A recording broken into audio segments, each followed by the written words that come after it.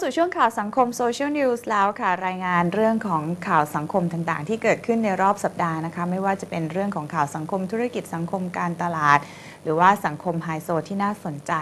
วันนี้เริ่มกันด้วยเรื่องของการทำการกุศลของเหล่าบรรดาเซเลบริตี้ที่ร่วมกับบรรดา GM ของโรงแรมฮิลตันเวิร์ d ไวนะคะ มาจากทั่วทั้งเอเชียแปซิฟิกเลยทีเดียวค่ะบรรดา GM ทั้งหลายมาร่วมกันทำการกุศล สร้างเค้กช็อกโกแลตเพื่อน้อง ที่โรงแรมฮิลตันมิลเลเนียมแล้วก็มอบรายได้ให้กับมูลนิธิโสสะค่ะ โรงแรมมิเลเนียมฮิลตันกรุงเทพ จัดการกุศลเพื่อสมทบทุนเข้ามูลนิธิเด็กโสสะ โดยครั้งนี้มิสเตอร์สกอตต์วิลสันผู้จัดการโรงแรม ได้จัดกิจกรรมขึ้นที่ห้องอาหาร Flow และใช้ชื่องานนี้ว่า เค้กช็อกโกแลตเพื่อน้อง ซึ่งมีคุณหญิงโรส บริบาลบุรีพันธ์ กรรมการที่ปรึกษา มูลนิธิเด็กโสสะแห่งประเทศไทย ในพระบรมราชินูปถัมภ์และผู้จัดการทั่วไปของ Hilton Worldwide จากทั่วเอเชียแปซิฟิก รวมถึงน้องๆ จากบ้านโสสะร่วมกันตกแต่งหน้าเค้กในบรรยากาศที่อบอุ่นและเป็นกันเอง เงินที่ได้รับวันนี้ก็ถึงจะเป็นจากคนให้มาไม่ได้มากมาย แต่ว่ามันก็เป็นกำลังใจให้กับเด็ก แล้วก็มันดิฉันก็มีความรู้สึกว่า ปิตินะคะที่ได้รับแล้วก็เด็กก็ได้เอาไปใช้ทุกบาททุกสตางค์ที่ให้ไปเนะครับครับ กิจกรรมครั้งนี้นะคะเป็นครั้งที่2นะคะเป็นกิจกรรมที่ต่อเนื่องนะคะ จากปีที่แล้วนะคะเมื่อเดือนกันยายนที่ผ่านมานะคะทางโรงแรมก็พยายาม สร้างกิจกรรมอย่างต่อเนื่องอย่างนี้นะคะ เพื่อน้องๆจากบ้านโสสะค่ะ และนอกจากผู้เข้าร่วมงานจะได้สนุกสนานร่วมกับน้องๆแล้ว ยังสามารถร่วมสนุกกับกิจกรรม จับบัตรของขวัญอีกมากมายทำให้เหล่าเซเลบริตี้และผู้เข้าร่วมงาน ได้อิ่มอกอิ่มใจไปตามๆกัน เพราะรายได้ทั้งหมดไม่หักค่าใช้จ่าย จะถูกบริจาคให้กับหมู่บ้านเด็กโสสะ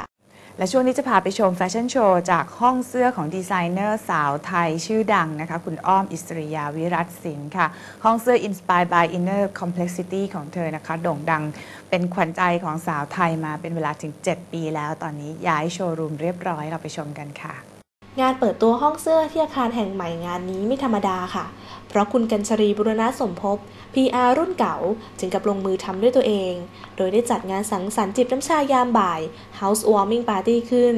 เพื่อแนะนำสถานที่ตั้งแห่งใหม่ของห้องเสื้อแบรนด์ Inspired by Inner Complexity ซึ่งเป็นของคุณอิสริยาบุรณะสมภพวิรัตศิลป์ดีไซเนอร์สาวทันสมัยบุตรสาวของคุณกัญชรีนั่นเองค่ะ งานนี้เรียกได้ว่าเป็นการขยายธุรกิจของครอบครัวบุรณะสมภพเลยก็ว่าได้วันนี้เนี่ยเราก็ได้รับเกียรติจากลูกค้ากลุ่มแรกนะคะ เราจะมีที่เราเรียกว่าเซเลบริตี้คือเป็นลูกค้าชุดราตรีของเรากลุ่มแรกเนี่ยค่ะ31 คนนะคะเป็นเคล็ดของความสำเร็จนะคะ เพราะเราเริ่มต้นที่สุขุมวิท31 เมื่อเราย้ายมาหาตึกที่พัฒนาการนะคะก็มาเจอพัฒนาการ 31 ทับหนึ่งตรงนี้ก็อยากจะฝากอ่าร้านนี้ไว้ ให้กับลูกค้าที่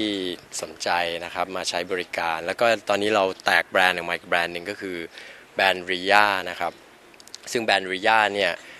ก็จะเป็นเน้นทางด้านของการตัดเย็บชุดราตรี ชุดทำงาน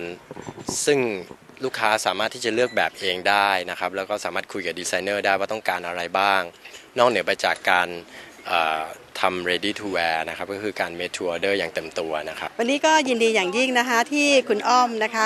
ลูกสาวคุณกัญชรีบุรณะสมภพนะคะเปิดห้องเสื้อนะคะ Inspired by Inner Complexity นะคะแล้วก็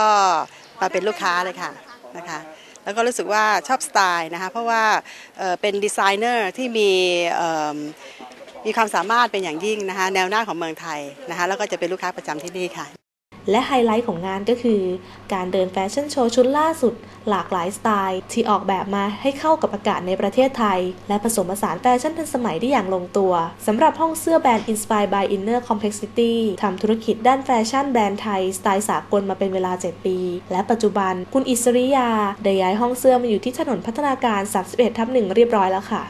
ช่วง Celeb Story by Apex วันนี้ค่ะ เราได้สาวสังคมระดับดาวค้างฟ้านะคะ อยู่คู่ฟ้าเมืองไทยมานานมากเลยสำหรับคุณน้อยที่พาพรอัชนัน ซึ่งใครเห็นหน้าก็จะบอกว่านี่เป็นสัญลักษณ์ของวงสังคมค่ะ คุณน้อยปัจจุบันนำเข้าเสื้อผ้าชุดแต่งงานนะคะ ในแบรนด์ s i m b e r l i n ค่ะ วันนี้ให้เกียรติกับทาง Apex Profound Beauty ไป ปรึกษากับคุณหมอนันทพัฒน์สุภาพันชาติ เกี่ยวกับเรื่องปัญหาผิวพรรณแล้วก็การดูแลใบหน้าให้กระจ่างใสอยู่เสมอไปชมกันค่ะ สวัสดีค่ะทิพาพรอัชนันนะคะเเป็นผู้จัดการห้องเสื้อชุดแต่งงานของซิมเบลีนค่ะ ปกติเป็นคนทำงานตลอดเวลาก็ไม่ค่อยมีเวลาดูแลตัวเองเท่าไหร่ วันนี้พอดีมีเวลาว่างก็รีบมาเอเ x เพื่อที่จะปรึกษาคุณหมอค่ะ ว่าจะดูแลผิวหน้า การบำรุงผิวหน้าหรือดูแลผิวหน้าให้มันดูกระชับแล้วก็สดชื่นตลอดเวลาเนี่ยจะต้องทำยังไงบ้างค่ะ สำหรับท่านนี้นะคะจริง ๆ แล้วเนี่ยอย่างที่บอกก็มีปัญหาเรื่องของกังวลผู้หญิงเราอะค่ะประมาณ 40ปุ๊บเราจะกังวลเรื่องหย่อนคอย แล้วก็ยังไงเป็นเรื่องที่หลีกเลี่ยงไม่ได้เลยช้าหรือเร็วเท่านั้นเองบังเอิญเนี่ยท่านไม่ชอบเจ็บเลยนะคะ เพราะฉะนั้นสำคัญมากเราก็ต้องเลือกอะไรที่แบบเบาๆทำสบายแล้วก็เห็นผล อันนี้เนี่ย TP หรือว่าที่เขาเรียกว่าเป็นเอ่อคลื่นวิทยุสามขั้วเนี่ยอันนี้ค่อนข้างจะตอบสนองได้ดี จะทำให้ผิวหนังเนี่ยนะคะทำไปเนี่ยตอนทำจะสบายหลับได้เลย ไม่เจ็บไม่อะไรเลยนะคะ แล้วหนังเนี่ยจะยกกระชับได้ดี ข้อดีของตัวนี้คือในคนอายุมากนัก หน้าค่อนข้างจะไม่ค่อยมีโครงเท่าไหร่นักนะคะ และเป็นหนังถ้าเป็นส่วนใหญ่ ตัวนี้เนี่ยจะกระชับได้ผลเร็วนะคะ แล้วก็จะเห็นชัดเจนนะคะ แต่เพียงแต่ว่าอาจจะต้องทำทีนิดนึงในช่วงแรกๆอาจจะต้องทำทุก 2 สัปดาห์ทุก 2 สัปดาห์ประมาณ 5 ครั้ง แล้วหลังจากนั้นเนี่ยก็ยังอาจจะต้องรักษาระดับทุก ๆ 2-3 เดือนนะคะ ข้อดีคือไม่เจ็บ เห็นผลเร็วก่อนจะไปงานนี่มาทำปุ๊บเนี่ยน่าจะรีบให้เห็นได้เลยสำหรับหลาย ๆ ท่านเนี่ยก็จะชอบวิธีการนี้เพราะสบายไม่เจ็บ แล้วก็ออกไปปุ๊บหน้าใช้งานได้เลยค่ะ ไปทำงานได้ตามปกติ